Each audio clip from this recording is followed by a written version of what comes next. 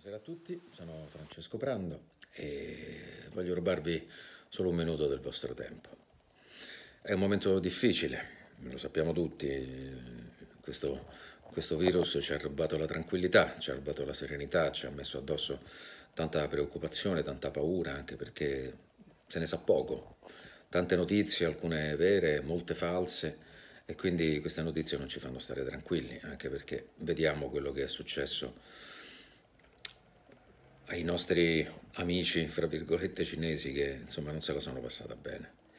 E quindi l'unica cosa che sappiamo è che ci sono alcune modalità di comportamento che possono aiutarci ad arginarlo, questo virus. Una di queste è restare a casa. Ecco, io vi prego, cercate di restare a casa se potete.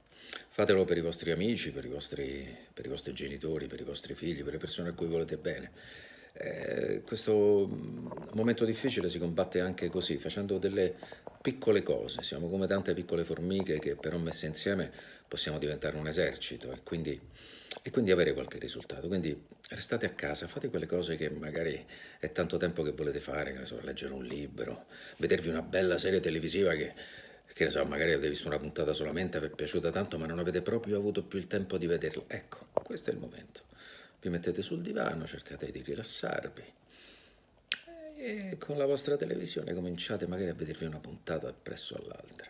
Questo oggi è possibile, lo potete fare e questo magari vi aiuta a staccare un attimo eh, la testa, a cercare di pensare per, magari per qualche ora a qualcos'altro. Ecco, questo potrebbe essere un, una buona soluzione, una buona idea. Io lo sto facendo, io ho staccato, sono a casa, cerco di fare quello che sto dicendo a voi, non è facile, però ci sto riuscendo. Quindi fatelo anche voi, fatelo per questo mondo tanto bistrattato e tanto messo alla prova. Ok? Diamogli una mano. Restiamo a casa.